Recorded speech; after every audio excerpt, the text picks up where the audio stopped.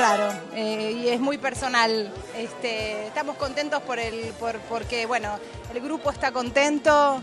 eh, fue un laburo, viste, tracción a sangre, podríamos decir, porque fue muy costoso hacerlo. Bueno, y esto es como el corolario a, a todo ese esfuerzo. Eh, mucha empatía entre nosotros, buena química de laburo, nos llevamos muy bien. ¿Qué? Anuncialo.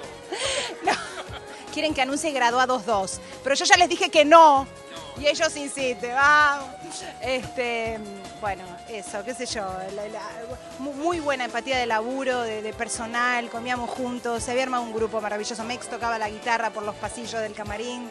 Este, no sé, un grupo especial, una situación especial, un evento especial fue para nosotros. ¿Qué te pareció que la ceremonia se haga en el Colón?